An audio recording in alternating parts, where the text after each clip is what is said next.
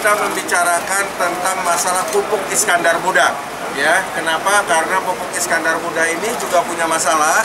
Kenapa? Karena dengan terbatasnya gas alokasi yang ada, maka instalasi yang ada tadinya pupuk Iskandar Muda 1 dan 2 itu hanya digunakan satu saja, yaitu pupuk Iskandar Muda 2. Sementara yang satu tidak difungsikan karena tidak adanya gas. Oleh karenanya tadi kita menyelaraskan segala sesuatunya agar dalam waktu secepat-cepatnya gas untuk alokasi gas untuk pupuk Iskandar Muda itu tetap bisa kita alokasikan ya tadi sudah ada alternatifnya untuk tahun ini sampai 2014 apa? 2014 sampai 2016 dari mana? 2016 sampai 2019 dari mana? Dan seterusnya dan seterusnya. Bisa dijelaskan Pak dari mana Pak? Dari mana? Macam-macam ada dari ini nanti teknis sudah di ini kan tanya dengan Pertamina teknisnya tapi semuanya sudah eh, kita bicarakan secara detail